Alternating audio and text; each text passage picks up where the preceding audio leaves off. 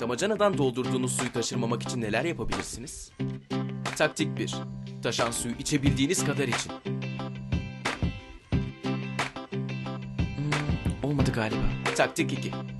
En yakın saksıyı suyun altına koyun. Hay aksi bu da olmadı. Taktik 3. Güvendiğiniz bir dostunuzdan yardım isteyin.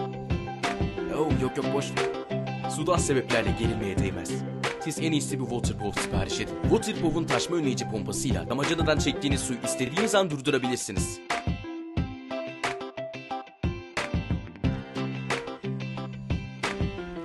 Üstelik çocuk kilidi de var.